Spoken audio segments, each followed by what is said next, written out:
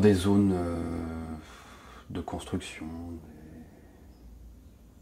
des, zones interdites au public ou des choses comme ça, des zones vides en fait où il n'y a, pas de, a pas de passage, il n'y a pas d'habitation, il n'y a pas d'activité. Il y en a eu mais il n'y en a plus. À partir de photos que je fais, nombreuses photos que je fais, je les retravaille sur euh, un logiciel bien connu. Voilà, je peux donner un exemple, euh, la photo d'origine. Donc là, j'ai déjà changé euh, quelque chose et puis après j'ajoute un autre revêtement. donc je vais en faire autre chose, je ne sais pas encore quoi. Mais déjà l'aspect a changé. Bah, encore un bâtiment dans un bâtiment, là c'est à Saint-Nazaire. En fait, là j'ai tout enlevé quasiment.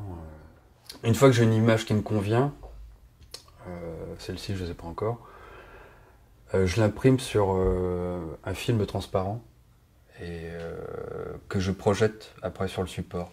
Je dessine avec des règles, des écarts pour que bon, les, perspectives soient bien comme il faut, les perpendiculaires bien perpendiculaires, etc. J'ai changé de support, j'ai arrêté de travailler sur toile suite à des problèmes de tension et de, toile qui réagissent en fonction de l'humidité, de la chaleur, de, donc j'avais un atelier qui était assez humide et frais comme celui-là, euh, donc l'étoile était super tendue, et quand elle se retrouvait en galerie où c'était euh, avec un air chaud et sec, l'étoile se détendait et là c'était c'était pas terrible, donc je me suis mis à travailler sur du bois.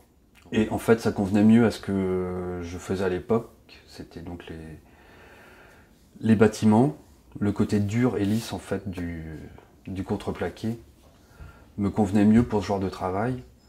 Et ça me permettait aussi de, bah, de choisir mes formats exactement, euh, sans être euh, tributaire des formats standards des toiles qu'on achète. Oui, faire de la peinture, c'était forcément de la peinture à l'huile, je ne sais pas pourquoi.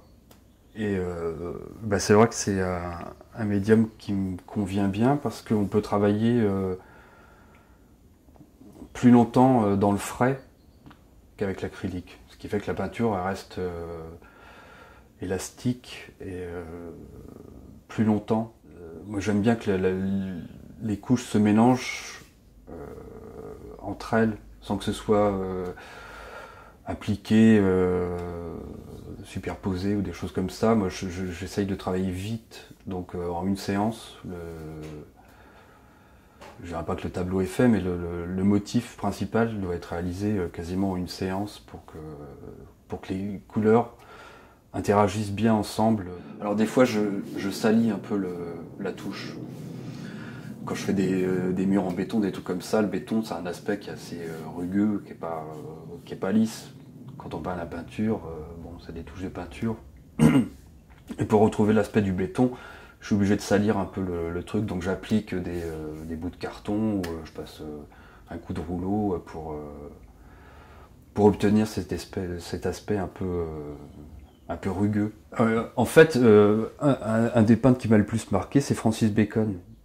Euh, et c'est vrai que lui, bah, c'est ce que j'ai repris un peu, il, travaillait un, sujet avec un fond qui était qui était pas peint, enfin c'était un, aplat de couleurs derrière quoi. Et au centre il y avait le sujet, et puis alors là la peinture explosait complètement. Et je trouvais ça vachement plus intéressant que que des toiles plus expressionnistes où là ça, tout explose. Là, il y avait un truc vraiment concentré, euh, un concentré de, peinture euh, brute, mais au milieu d'un truc très, euh, très clean. En fait, quand je commence une série, je sais pas que c'est une série qui va qui commence. Et je vois quelque chose et je dis, ah, ça, ça, il y a quelque chose qui me parle, j'ai envie d'en faire quelque chose. C'est plus un climat ou une atmosphère qui va déclencher ça. Et petit à petit, je me rends compte qu'il y a une série qui se met en place et qu'il y a quelque chose qui arrive, mais euh, c'est pas euh, c'est pas conscient au départ. Je veux que ça reste euh, ouvert pour tout le monde, qu'on puisse voir ce qu'on veut, que les gens puissent interpréter comme ils veulent, adhérer ou pas au, truc. et je crois que c'est il y a des gens qui voient des choses très différentes. Donc moi, ça me convient. Chacun il voit ce qu'il veut, il projette ce qu'il veut c'est libre d'accès.